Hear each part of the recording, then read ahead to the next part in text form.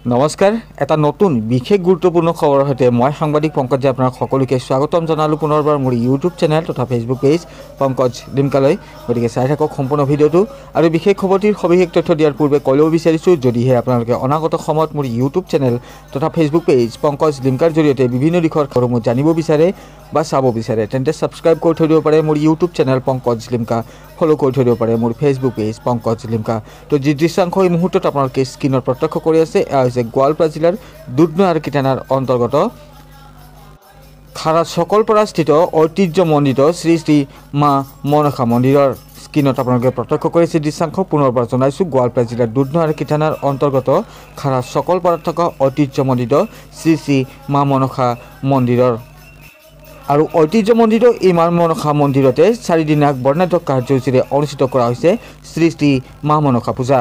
পুনৰবাৰ জনাই দিছোঁ আপোনালোকক চাৰিদিনীয়া বৰ্ণাঢ্য কাৰ্যসূচীৰে এই খাৰা চকলপাৰা স্থিত যি ঐতিহ্যমণ্ডিত মা মনসা মন্দিৰ সেই মন্দিৰত অনুষ্ঠিত কৰা হৈছে শ্ৰী শ্ৰী মা মনসা পূজা।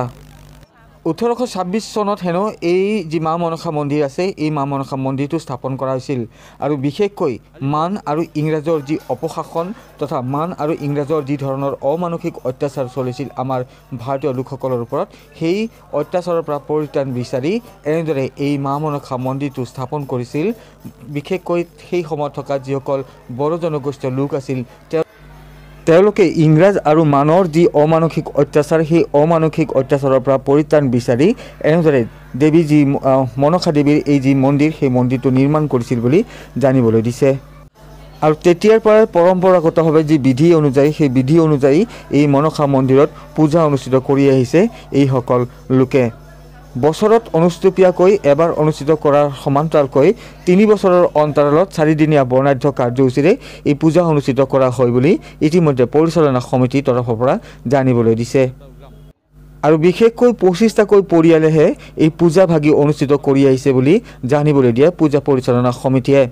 তেওঁলোকৰ মন্তব্য আছে সেই মন্তব্য আপোনালোকক শুনাম কিন্তু দৃশ্যাংশসমূহ আপোনালোকক দেখুৱাই দিছোঁ ইয়াৰ লগে লগে চৰকাৰলৈ তেওঁলোকে বিনম্ৰভাৱে অনুৰোধ জনাইছে যে মঠ মন্দিৰসমূহ অত্যাধুনিকৰণ কৰাৰ বাবে যি ধৰণে চৰকাৰে আঁচনি গ্ৰহণ কৰিছে সেই চৰকাৰী আঁচনি কিন্তু এতিয়ালৈকে এই ঐতিহ্যমণ্ডিত যি শ্ৰী শ্ৰী শ্ৰী মা বনবাসী মন্দিৰ আছে এই মা বনবাসী মন্দিৰে ঢুকি পোৱা নাই। যাৰ বাবে চৰকাৰলৈ বিনম্ৰ অনুৰোধ জনাইছে উদ্যোক্তা সমিতিয়ে।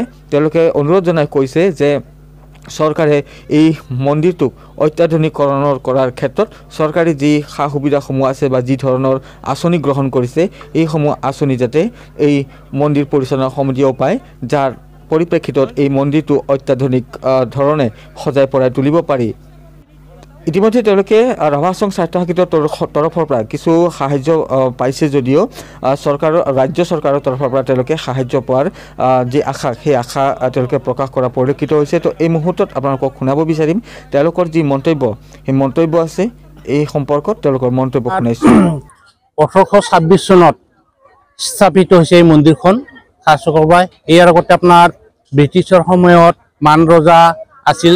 তেওঁ ইয়াত বড়োবিলাকক খেদি খেদি ইয়ালৈ আনিছিল। এই গাঁওখনত বড়ো সংখ্যা খুব কম আছিল এজন দুজনকৈ আছিল। লগতে ইপিনে ব্ৰিটিছ শাসনৰ তেওঁলোকৰ উপদ্ৰৱ আছিল তেওঁলোকেও খেদিছিল তেতিয়া কেইজনমান খুব জংঘল আছিল আৰু এইখনখন। এই জংঘলত আমাৰ বড়োবিলাকে থাকি এই এৰিয়াত থাকি থাকি এঘৰ দুঘৰকৈ এশ ঘৰ হৈ তেওঁলোকে ব্ৰিটিছৰ পৰা আৰু মান ৰজাৰ পৰা ৰেহাই পাবৰ বাবে এই এইখনৰ এইখনত তেওঁ আমাৰ ঊনৈছশ চনত এই মন্দিৰটো স্থাপন কৰে যাতে মা মনসা দেৱীয়ে যাতে আমাক ৰক্ষা কৰে। যিহেতু আমি আৰ্থিক ক্ষেত্ৰত আমি কমিটি দুৰ্বল পঁচিছ ঘূৰি আমি পূজাটো পাতোঁ। সেই গতিকে আমি বছৰেকীয়া তিনি বছৰে এবাৰকৈ কৰোঁ আৰু আপোনাৰ বছৰেকীয়া এবাৰকৈ কৰোঁ আৰু আপোনাৰ তিনি বছৰৰ মূৰত আমি চাৰিদিনীয়া কাৰ্যসূচী পূজা কৰোঁ। এতিয়ালৈকে আমিলোকে কোনো পোৱা নাই। এই নিউজ চেনেলৰ পৰা জৰিয়তে আমি এটা চৰকাৰলৈ আহ্বান জনাওঁ যাতে আমি পিছ পৰি থকা যিটো জনজাতিবিলাকে যে পূজা পাঠ কৰে সেইবিলাকত যাতে দৃষ্টি আকৰ্ষণ কৰে আৰু আৰ্থিক সাহাৰ্য দিয়ে। যিহেতু অৰ্জুন যাতে মই এটা আহ্বান জনাওঁ চৰকাৰক যাতে আমি পিছপৰা যাতে আমাৰ হিন্দুত্ব বজাই ৰাখিব পাৰে সেই ক্ষেত্ৰত যাতে আৰ্থিক সহায়তা দি আমাক গৰীব ৰাইজক যে উপকাৰ কৰে। এইটো কাৰ্যসূচী আমি ঘৰ প্ৰতি টকা পইচা লৈ যিটো যিমান ঘৰে এক হাজাৰ দুহাজাৰ যিমান কৰে সেইটো আৰ্থিক একগাঠা কৰি আমি পূজাটো কৰোঁ আৰু কি। চাৰিদিনীয়া পূজা খৰচাটো বেছি হয় আৰু একদিনীয়া হ'লে আপোনাৰ খৰচাটো কম। সেই পৰিমাণ হিচাপে আমি আৰ্থিক টকাটো তোলোঁ আৰু প্ৰতি ঘৰৰ পৰা। পূজাত আৰু পূজাত আপোনাৰ পাঠা বলি দিয়ে পাৰ দিয়ে। পূজা হিচাপে আৰু আমাক বছৰলৈকে আপোনাৰ নজৰা পাৰ দুটা পাঠা আৰু ফল ফ্ৰুট আদি আৰু ওজাপালি লাগে।